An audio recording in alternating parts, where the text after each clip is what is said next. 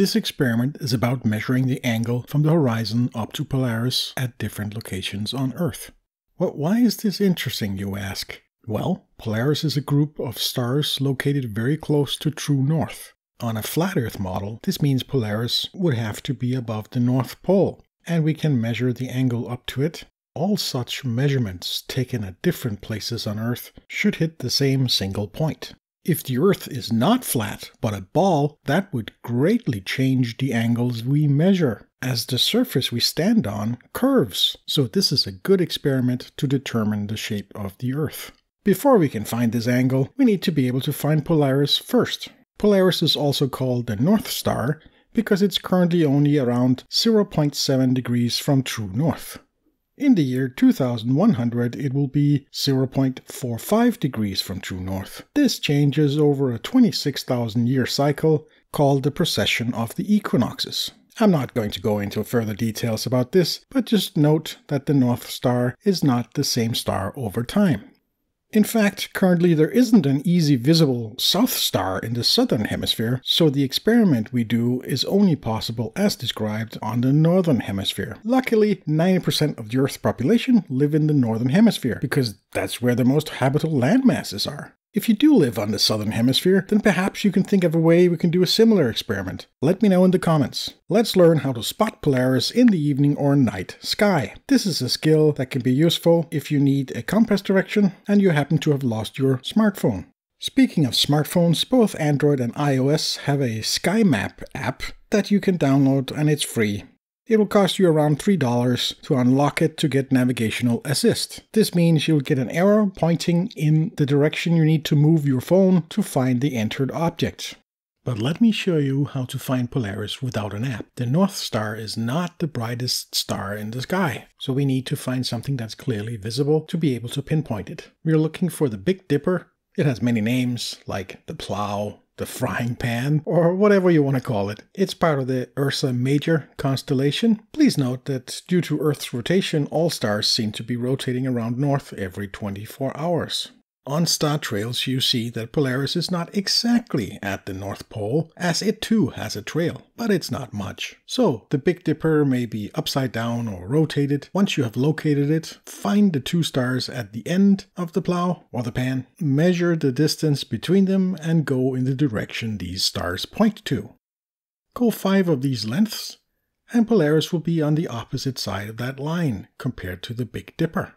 Okay, that was using a screenshot from an app.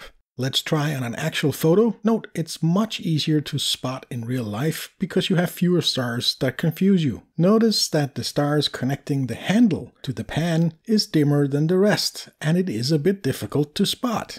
Once again, we go 5 lengths along the line and find Polaris on the opposite side of the line. Congratulations, you are now an expert in finding Polaris.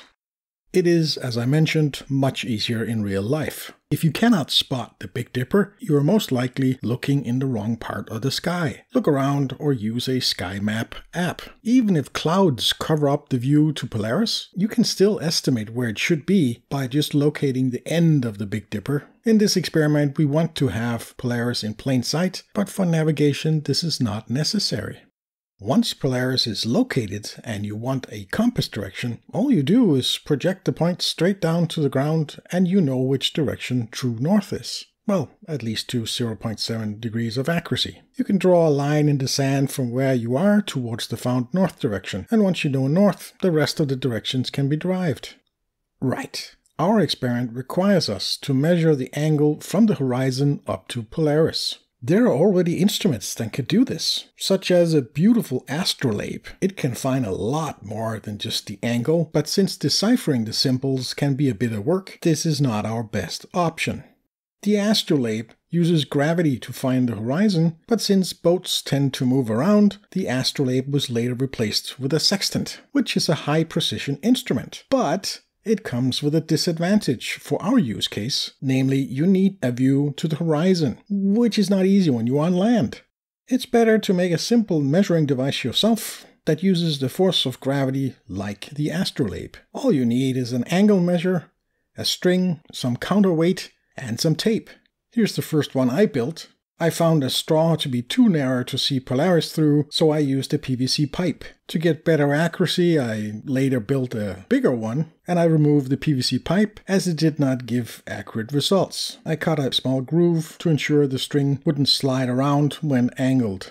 You could also use a digital angle measure like this $20 one. I tried various methods. This is the one I ended up with. It is best to have whatever you're measuring held in place. I used an old vise and instead of clamping it to a table, I clamped it to a photo stand. Les will of course do it, but I'll explain why I needed the extra accuracy in a moment. If you use a string, you can press and hold the string in place until the measurement can be made. I just took flash photos of it as it was too dark to make the reading. If you lose sight of Polaris, then you can turn your head and use your peripheral vision to find it again. Using a handheld device, you're not likely to get an accuracy that's better than one degree, even if you take many, many measurements. The thing thing is you can't see if the counterweight is at resting point in the darkness. You cannot see if you accidentally affect the string placement while pressing it down. If you make your own device, you first align it to point to Polaris, then wait for the weight to point to the center of gravity, then clamp down the string and make your measurements. In this case it's 75 degrees,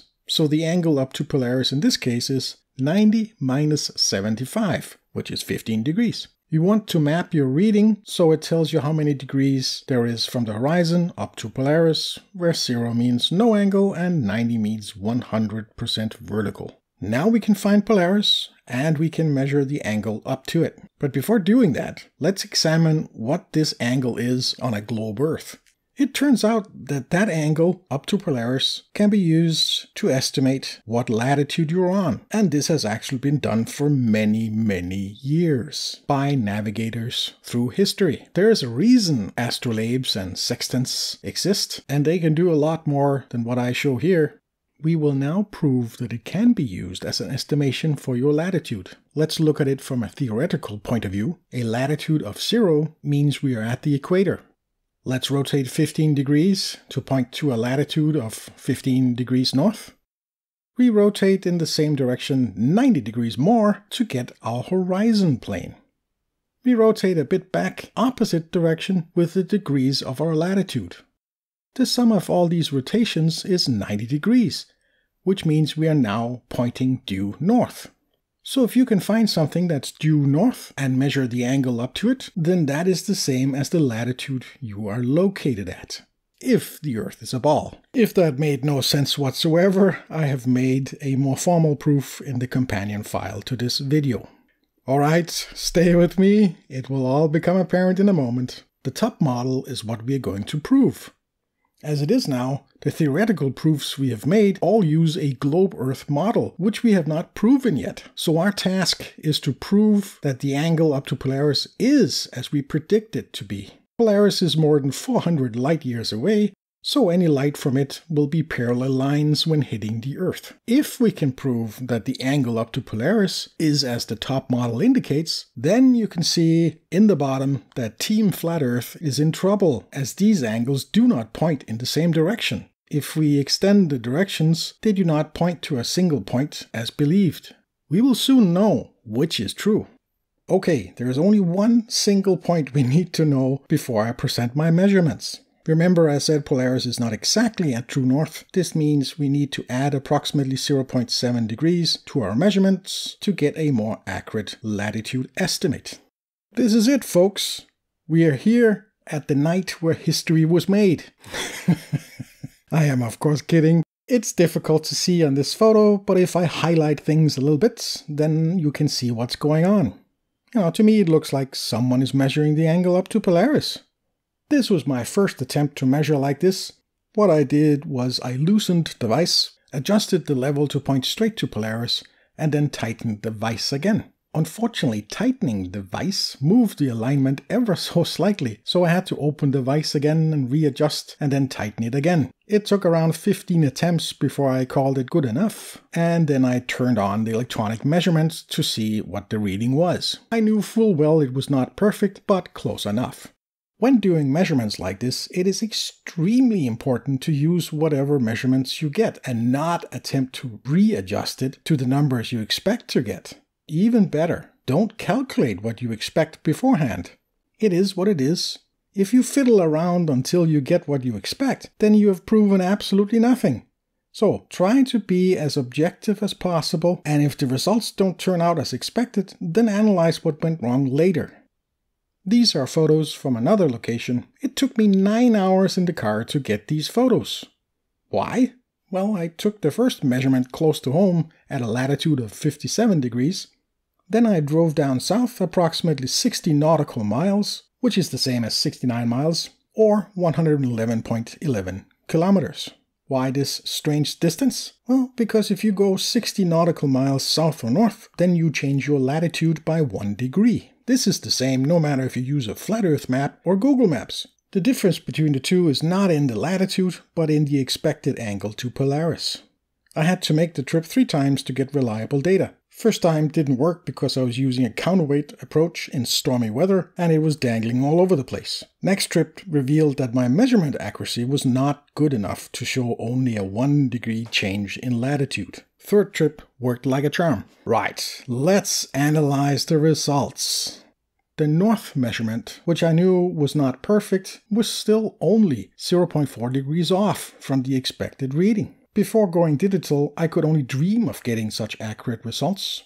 The south measurements are crazy accurate with only a difference of 0.05 degrees from the expected value. The globe Earth math predictions are therefore confirmed, not only at one latitude, but at two different latitudes. These measurements do not make sense on a flat Earth. Here at the end, let's take a quick look at the elephant in the room. Consider two people on the northern hemisphere one of them travels south, while the other one remains where he is. The one that travels keeps track of Polaris, either using his eyes or a smartphone app. He can report that Polaris did not fade but disappeared behind the horizon. And his smartphone app shows it's below the ground, while the person that remained reports that Polaris is still visible. How can Polaris at the same time be below the flat Earth disk and at the same time above it? On a spherical Earth, this is perfectly explained. If you live at a different latitude than I took my measurements at, then consider making a latitude estimate using Polaris and post what the actual latitude was. Don't worry if your measurements aren't super accurate. It is what it is. Even if you're 5 degrees off, it will still show perfectly how curved the Earth is if people from different latitudes do their measurements. I will make a follow-up video if enough post their findings. It's okay. They've gone. You can come out now.